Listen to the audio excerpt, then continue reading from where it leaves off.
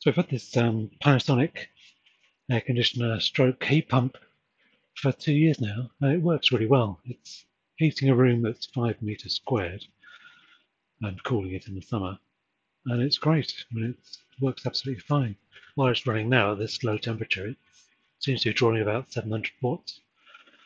I'm not sure how much uh, is getting into the room, but I say it's a five meter squared room, so significant significantly more heat, I think, being transferred than the, the power that it's drawing from the electric supply. I'm just intrigued though, because it's minus four today, and uh, that means that the heat exchanger here is frosting up.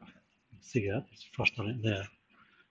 Uh, but it's, it stops, somehow detects the, the frost and um, defrosts itself. Was just intrigued to know how that works at this low temperature. So I'm going to put the camera down here and uh, see what happens.